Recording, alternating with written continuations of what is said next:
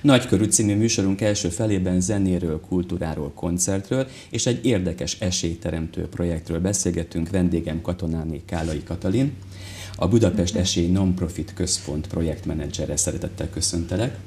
Jó napot kívánok! Köszönöm, hogy befáradtál a stúdióba ebben a kánikulában, de érdekes lesz a téma, talán ez majd feletetni fogja a nagy meleget.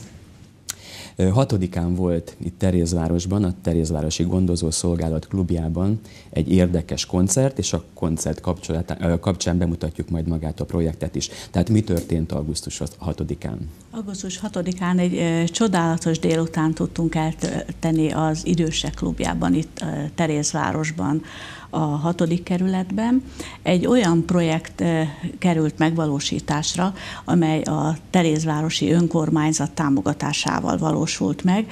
Innen is szeretném köszönetemet kifejezni a polgármesteri hivatalnak, hogy ezt a csodálatos műsort meg tudtuk valósítani, hiszen ez a időseknek is, és a kerületnek is egyaránt úgy gondolom, hogy fontos.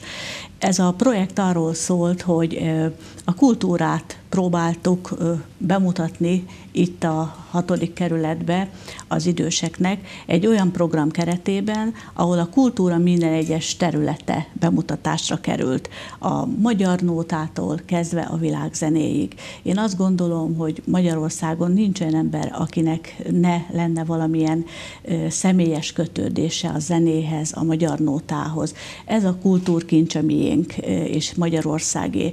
És ezt a kultúrkincset, ezt szerettük volna átadni egy kis csokorba az időseknek, és azt gondolom, hogy hát ez egy nagyon-nagyon jól sikerült program volt, nagyon örültek a résztvevők, a vendégek, és várják vissza ezt a műsort, és én azt gondolom, hogy minden műsornak, minden produkciónak az elismerése az, amikor megtapsolják őket és visszavárják. Ez érdekes, amit mondtál, hogy megpróbáltatok több műfajt, szinte az összeset bemutatni. Érdekes lehet egy ilyen program megszervezése, hiszen hogyha stílusok között kalandozunk, akkor oda kell figyelni, hogy melyiket melyikre fűzzük fel. Igen, hát próbáltam úgy megszerkeszteni, meg tervezni ezt a műsort, hogy azért minden helyet kapjon benne. A jazz sajnos kimaradt, de az is egy nagyon fontos műfaj Majd a Magyarország. A következőben gondolom, hogy erre is sor kerül. Mivel, hogy Magyarországon a magyar nóta, az az egyetemes kultúra része. Hát egyértelmű, hogy ezzel kezdtük a műsorunkat, és kiváló ö, zenekar segítségével és kiváló művészek közreműködésével tudtuk ezt bemutatni. A zenekar vezetője ö, szerintem nagyon sokan ismerik itt a kerületben is, és Magyarországon is. Farkas Jenő kiváló, mm, kiváló, primás. kiváló primásunkat és zenekarát, és az énekes viszont egy még ismertebb talán énekesnő, akit nap mint nap láthatunk a különböző televíziók műsoraiban. Ő a Ne felejts Nóta műsor győztese volt, Budai Beatrix. Mm. Ő, ő adta a aláfestés, az, az indulót ennek a műsornak a, a nótával és az operettel, és az operettet is ö, ö, ide sorolnám még a nóta műfaj mellé, hogy a kettő Szintén az közkedvelt, igen, igen. és főleg mondjuk nem a 20 éves, bár a 20 éveseknél a magyar nóta újra divat, én hát ezt remélem, tapasztalom, igen, de az időseknek egyértelmű magyar nóta és operett. Remélem, hogy ez most újra divatossá fog válni, és annyira jó volt látni, hogy a az idősebb vendégek, akik ott voltak, a klubnak a tagjai, együtt énekeltek az énekessel, és egy olyan másfél órát tudtunk varázsolni az életükbe, ami szerintem nagyon boldogá tette őket, mint ahogy ez látszott is rajtuk, és mondták is. Hogy tovább menjek. A nóta és az operett műfaj után következett a cigány nóta. Ez is egy olyan kultúrkincsünk, amit ö, szerintem ö, Magyarország tud produkálni. Talán a világon a, világon a legjobban. Egy, a legjobban. És ö, itt is egy olyan ö, ismert énekesnő, Balog Tünde ö, volt a közvetítője ennek a, a műfajnak, a sztárja. Csak aki, úgy, mint ebbe a aki egyébként a Nóta Show ö, ö, műsorvezető szerkesztője is, és, és nagyon, nagyon fergeteges műsort adott, nagyon jó volt, nagyon dinamikus volt, és mondom, vele énekeltek a, a vendégek. Utána egy kicsit visszáfogjunk a dologból, következett a világzene. A világzene is egy olyan műfaj, ami szintén hozzánk tartozik, és Báder Mariska zenekara, Báder Mariska, Bóni Józsi és Lukács Tibor trió filmzenét játszott, olyan zenéket, amelyek a 60-as, 50-es éveket idézték, és azokat a slágereket, amelyek amelyeket igazából mindenki ismer, és ezt is énekelték a, a, a meghívott vendégek, ott ez nagyon jó volt, és, és tényleg olyan felszabadult volt ott minden. És a legvégén volt egy meglepetés. A meglepetés viszont Farkas Zsolti volt, mm. aki a, a énekiskolájának a győztese. Itt azért el kell mondanom, hogy Farkas Zsolti és a a cigányzenekar primása, Farkas Jenő, hát apa-fia. És azt gondolom, hogy ez így együtt, ez így ezt, nagyon... Ezt mindenki tudja, aki látta az énekiskoláját, mert igen. szó volt róla, igen. Igen, és ö, annak ö, nagyon örülök, hogy ezek a kiváló művészek, tényleg, akik, akiket egy ország szeret, ismer, felvállalták azt, hogy egy ilyen kis klubba személyesen vesznek részt ilyen műsorban, és testközelbe kerülnek olyan emberekkel, akik, akik eddig televízión keresztül látták őket. Ennek tartok nagyon nagy fontosságot, hogy, hogy több ilyen kellene, és ezt is igényelték az emberek, és, és borzasztó boldogok voltak, hogy, hogy tényleg ilyen test közelből láthattak. Na, erre embereket. vissza fogunk térni, az azonban érdekes lehet, hogy ebben a klubban végül is hányan fértek el. Mi, mi volt a létszám? Hát egy ilyen 50, 50? Fő, sajnos több nem fér be, de, de én nagyon bizakodó vagyok, hogy ennek a pozitív kezdeményezésnek azért majd lesz folytatása, és akkor majd egy olyan helyen tudjuk megvalósítani ezt a programot, ahol legalább 200 Na hát, ha eljutunk a tervekig, akkor erre Remélem. visszatérünk. Miben nyilvánult meg Terjezváros önkormányzatának a segítsége? Írt ki egy pályázatot, amely során a az Egyesület tudott pályázni, és ehhez egy ilyen részbeni támogatást tudott nyújtani a program megszervezéséhez. A zenészek viszont ingyen léptek fel, teljesen az ő részükről ez lehet mondani, hogy jótékonysági. jótékonysági kezdeményezés volt, csak a nagyon minimális technikai jellegű dolgok kerültek ebből kifizetésre. De nem is ez a lényeg, hanem a maga a támogatás, maga a, támogatás a lényeg, meg maga az a pozitív hozzáállás, amit Terézvárostól kaptunk ennek a programnak a megvalósításához, és én nagyon bízom benne, hogy a, a sikerre való tekintettel, hát hogy ennek lesz még folytatása. Én is drukkolok nektek. A Budapest Esély Nonprofit Központ az a fővárosi polgármesteri hivatal intézménye. Igen. Itt, itt dolgozol főállásban, Igen. és készíted a különböző projekteket, mint például ezt. Érdekes lehet, hogy vajon miért is. Talán esetleg azért, mert nagyon kevés fellépési vagy konkrétan munka lehetősége van a zenészeknek például, de egyébként előadóknak is lássuk be, és ez lehet talán véleményetek szerint egy olyan út, ami lehetőséget ad ahhoz, még hogyha ez most például jótékonysági is volt, hogy esetleg beinduljon egy olyan projekt, egy olyan vonal, ahol egy-egy fellépés után már tiszteletdíjat is kapnak a művészek. Tehát ez terv. Hát nagyon szeretnénk, hogyha ez megvalósulna, de a programokba egyelőre csak a közmunka segítségével tudunk belépni ezeket az embereket, akik tényleg kiváló művészek, a világ bármelyik színpadán megállnák a helyüket, hát sajnos olyan helyzetben vannak, hogy nincs állandó munkájuk, és a közmunkaprogram keretében tudjuk foglalkoztatni őket, és ebből adódóan tiszteldíjat sajnos nem kaphatnak, mert a közmunka igazából nekik a fizetés és ezen kellene valahogy változtatni, akár főpolgármesteri szinten, vagy országos szinten is. Szóval ezeket javasoltátok már? Tehát ez képzeljük el a, mondjuk a konkrétan a te munkádat úgy, hogy kidolgozol egy-egy projektet, és akkor mellé teszel javaslatokat. Igen. Tehát hogy, hogy lehetne ezt csinálni? Vagy kéred, hogy esetleg tekintsék át a lehetőségeket? Hát pontosan ebből áll a munkám, ez arról szól, hogy Magyarországon van 3800 zenész, Budapesten több száz aki állástalan és munkanélküli.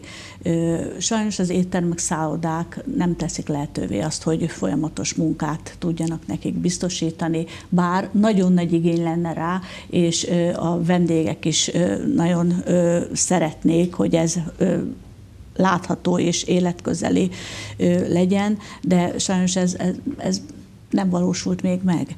És az lenne igazából a cél, hogy ezek a kiváló művészek, akik tényleg az egész életüket azzal töltötték, hogy tanultak, zenét tanultak, hogy a szakmájukba, mert nekik ez a szakmájuk, szakmájukba ö, tudnák megvalósítani a, a pénzkeresi, pénzkereseti lehetőségüket, és ezzel nem csak nekik lenne jó ezzel a programmal, hanem jó lenne az étteremnek, szállodának, és jó lenne a, a turizmusnak. E, ennek egy komplex program kidolgozását kellene megvalósítani ehhez.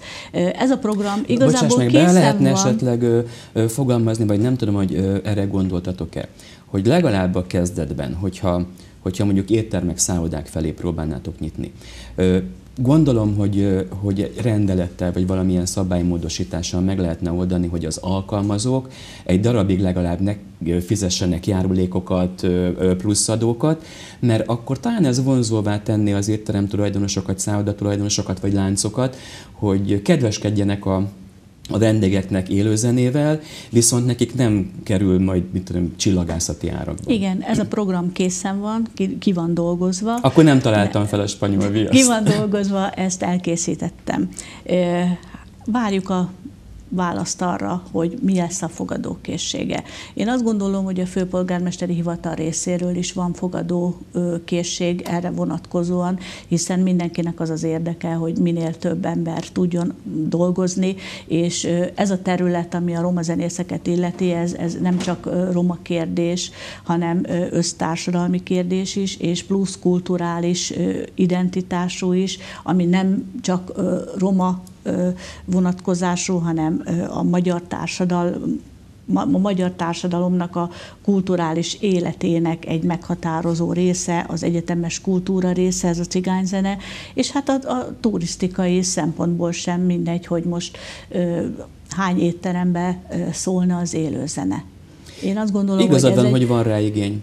Beszél tíz emberből, tíz emberből tizenkettő ezt fogja mondani, hogy szívesen venni, hogyha egy kellemes vacsora mellett kellemes zene szólna. Hát és igen. élő, végre és élő. élő zene, szép. És, és a másik dolog, amiről még azt gondolom, hogy beszélnünk kellene, ez az élő zene, és az, hogy ezt cigány zenészek játszák, ez még talán abban is segítene, hogy a manapság úgymond nem is tudom, hogy fogalmazzam, de, de szerintem jobb, ha egyszerűen őszintén a társadalom részéről történő előítéletességekben is azért ö, lehet, hogy szerepet játszana a megítélés szempontjából, mert ö, látna pozitív példát, látna ö, kulturális értéket, amit a romák közvetítenek, és nem mindig az a negatív kép jelenne meg a cigányságról, ami sajnos mostanában De jelen van. A Erről az oldalról talán általában keveset is beszélünk, mert hogyha probléma van bármilyen jellegű, ami mondjuk romákhoz kapcsolódik, akkor irodásokból innen-onnan azért megtudod.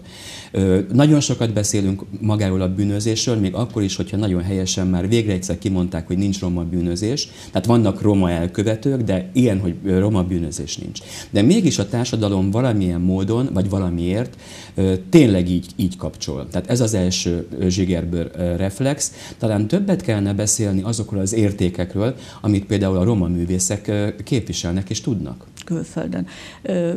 És például Külföld akik, egy, egy, egy, egy külön kategória, de egyébként Most visszatérve, visszatérve a műsorba és a műsorban szereplőkre.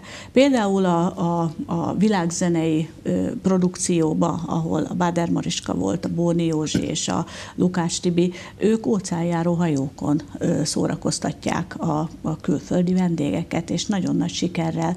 És épp a műsorban is mondtam ott, hogy most itthon vannak, most kikötöttek Magyarországon, és hát szeretnének itthon maradni, és itthon szeretnének élvényesülni, mert Magyarország a hazájuk. De sajnos itthon nem nagyon van erre lehetőség, és nagyon örül annak mindenki, hogyha külföldön kaphat állást, de az lenne igazából a megoldás, hogy emellett természetesen, hogyha az itthoni megélhetésük lenne igazából biztosítva. A... Hát nehéz kérdés, tudod, mert hogyha valaki egy szerződést kap külföldre, akkor a legrosszabb esetben is a magyar gázsikhoz képest minimum az 5-6 szorosát keresi. És azért az nagyon nem mindegy, főleg akkor, hogyha, hogyha a családban gondolkozik az ember, ha mondjuk egzisztenciát kell teremtenie, lakást vásárolni, autót, hangszereket. Hát egy vagyon egy jó hát hegedű, igen. vagy egy, vagy egy cselló, egy brácsa. Igen. A cimbalomról nem is beszélve. Igen. Tehát ezek nem olyan, tehát ezek nagy befektetések, hogy ö, színpadképes legyen az ember. Azon kívül, hogy technikailag mindent kell tudnia, és jó művésznek kell lenni. Igen, és a zenész is olyan, mint a, ahogy szokták mondani, a pap, hogy holtig, holtig tan, tanul. Holtig tanul. Itt, itt, itt úgy van, hogy a foglalkoztatási programra is, hogy visszatérjek, vannak fellépései ezek, a zenekarnak, és a Budapest különböző nyugdíjas klubjaiba szoktunk elmenni ugyanilyen műsort adni, és ott is nagyon ö, nagy örömmel fogadják a zenészek. És itt a kellemes a hasznossal össze uh-huh. tudjuk hozni, hogy kultúrát Ez de jó, a kellemes a hasznossal. A milyen, hasznossal. milyen igaz? Ezt és, kell csinálni. Igen, és, és nagyon örülnek az emberek, és ezek az idős emberek meg borzasztó hálásak, és, és ez, ez nekem szívet melengető, és azért is csinálom ezt a programot, hogy ö, szeretnénk a Budapest minden kerületébe így eljutni ezekbe az idős otthonokba, mert azok az emberek már nem tudnak igazából eljárni kulturális eseményekre. És akkor úgymond házhoz visszük a kultúrát. És ez egy, én azt gondolom, hogy nem ez cél, és ebbe a, a zenész barátaim partnerek nagyon, és ebbe a foglalkoztatási program keretében ezt meg is tudjuk így valósítani, és akkor így nem kerül senkinek igazából úgy külön pénzbe, a zenészek muzsikálhatnak, csinálhatják a, a dolgukat, szoktuk így mondani, és zenélhetnek, a, az idősek pedig hát legalábbis egy egy-két órára vissza, el, el, eljutnak egy másik világba. Igen, igen, a fiatalságukat egy kicsit visszaidézve szerintem úgy kicsit nosztalgiázhatnak, és ez, ez nagyon jó. Volt egy esemény, Kőbánya Kispesten voltunk, és ott volt egy idős bácsi, Jani bácsinak hívták, és régen ő valamilyen zenét, hát zenész volt, és hegedűn játszott de 90 éves volt a bácsi, nagyon jól tartotta magát, és hát az volt neki a kérése, kívánsága, hogy ő hagy játszon majd a, a végén, a műsor után a zenészekkel, és beült a zenekarba, és hát az az a boldogság, amit az, az, az idős emberen ott lehetett látni, komolyan mondom, hogy, hogy ha másért nem, már ezért megérte ezt a programot, és ott játszott a zenekarral, és, és, és a, a, a zenész barátaink meg mondták is, hogy hát ez nagyon ügyes ember volt ez a, a, a Jani, bácsi. Jani bácsi régen, mert nagyon oda tette magát a a, a zenébe, és, és tényleg ott csinált, és vártak bennünket vissza különböző programokra, és többször mentünk vissza Kőbányára, Halom utcai idősek otthonába, és tervezzük, hogy most is megyünk majd. És az benne a jó, hogy ezekhez az idős emberekhez most már ismerősként térünk vissza. És, és van egy, egyfajta személyes kötődés is ezekhez az emberekhez. Ez egy nagyon fontos dolog számomra, mert én, én úgy gondolom, hogy nagy ez a világ, és hát a legfontosabb benne maga az ember.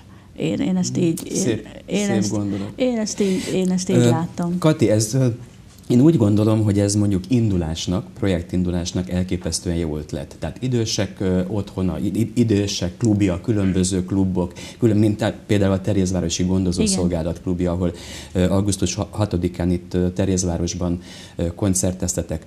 Na de mi van a fiatalokkal? Elmondom az én tapasztalatom röviden. Családban több unokaöcs, unokahúg van, egyetemisták, és bármilyen buli van, egészen biztos, hogy a közepén vagy a végén magyar nótáznak. Orvostan hallgatóban a családban, most már mérnökök, hogy nem lenne esetleg értelme megpróbálni egyetemi klubokkal felvenni a kapcsolatot, hiszen ezt meg kell őrizni, ezt a műfajt, ahogy ezt te a beszélgetésünk elején meg is fogalmaztad, hiszen az egyetemes kultúránk része. Meg kéne szerettetni a fiatalokkal, hogy majd 20-30 év múlva is legyen közönség. Hát ez a cél, ez a cél, és... Hát már megint nem találtam fel a spanyol ez, ez, Nagyon fontos Igen, dolog. ez a cél, hogy a fiatalabbak is ö, ö, rácsodálkozzanak arra, hogy régen mi volt. Hát, hát ha ö, visszaemlékezünk régen, nem volt olyan magyar film, ahol ne lett volna magyar nóta a filmen belül. Igen. Hogy neves művészeink énekeltek volna ö, különböző slágereket, ami még a mai napig is sláger. Ö, meg az, hogy a fiatalok nótáznak, hát, hát magyarok vagyunk. Ez benne van a zsigereinkbe. Én, én ezt, ezt így tudom elkönyvelni magamba, hogy ha még nem is tapasztalta meg igazából ezt a fajta műfajt, de ez, ez benne van a, a gényeinkbe. Én, én úgy látom, és ezt nekünk tényleg meg kell őrizni. És ez nem egy rossz ötlet, majd még az egyetemi klubokkal is talán fölveszük a kapcsolatot, és ez tényleg igaz, hogy a fiatal közönség ugyanúgy szereti a, a magyar nótát. A, Én egészen az, biztos vagyok benne, hogy megtelne egy-egy egyetemi klub. Mert erre lehet mulatni. Erre szokták mondani, hogy sírva vigad a magyar. Vannak ilyen régi mondások, ami, ami tényleg igaz, és ö, ezt nekünk tényleg meg kell őrizni.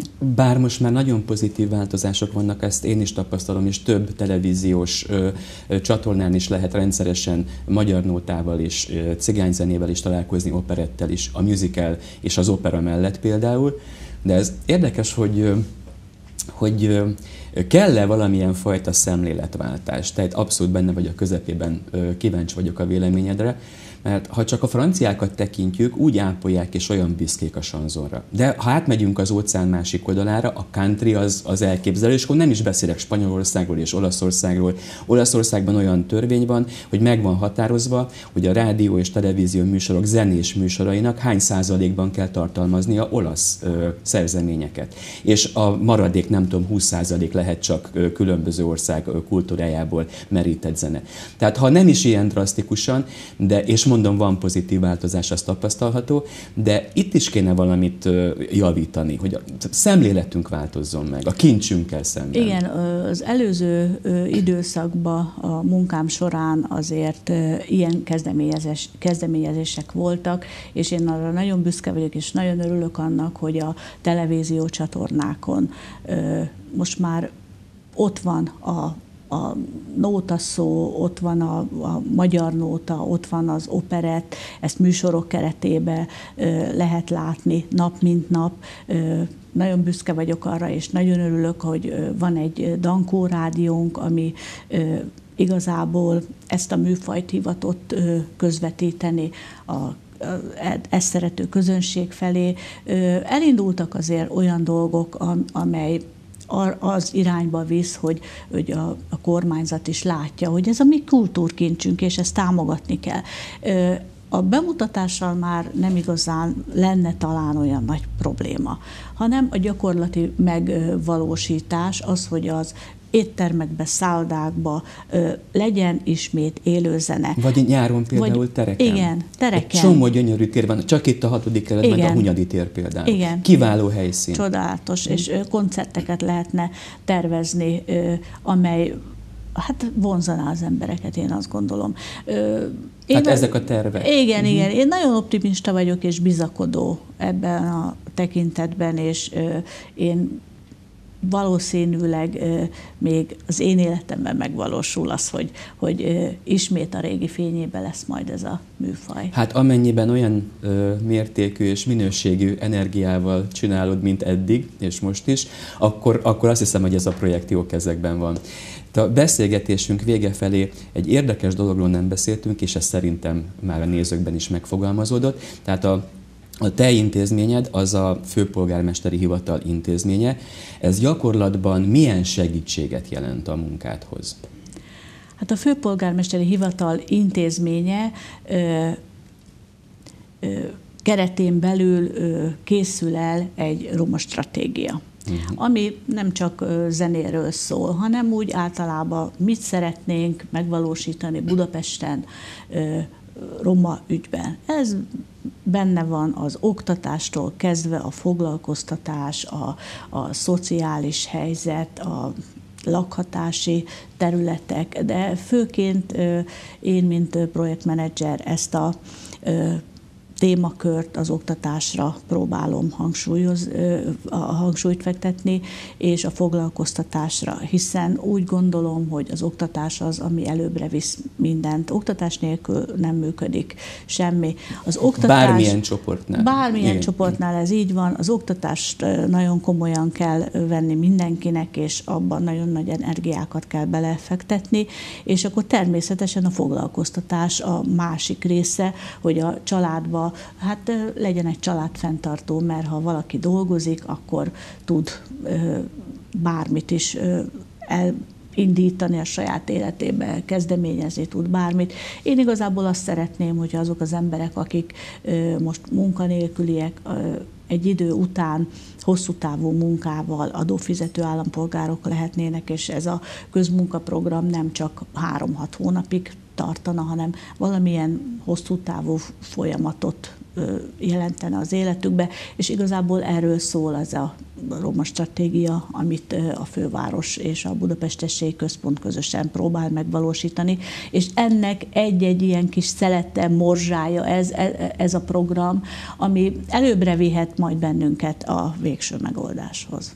Az oktatásnál, hát ez elképesztően szertágazó, de gondolkoznak el a, az engedélyezők vagy támogatók mondjuk egy olyan lehetőségben, hogy valamilyen szociális témájú pályázat vagy lehetőség kapcsán segítség, akár anyagilag is azokat a családokat, ahol a szándék, az akarat megvan a beiskolázásra és a továbbtanulásra. Csak mondjuk az anyagi lehetőségek nem biztos, hogy megengednék.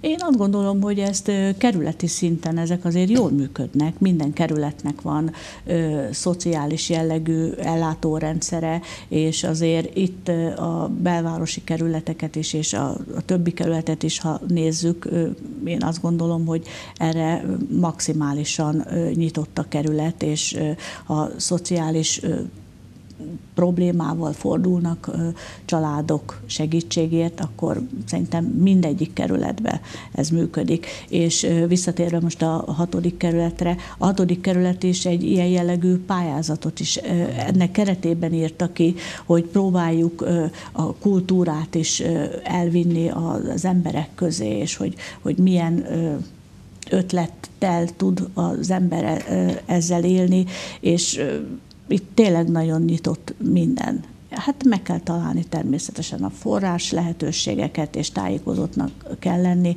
azoknak, akik ö, szeretnének támogatást kérni, de én úgy gondolom, hogy ez az ellátórendszer ez működőképes.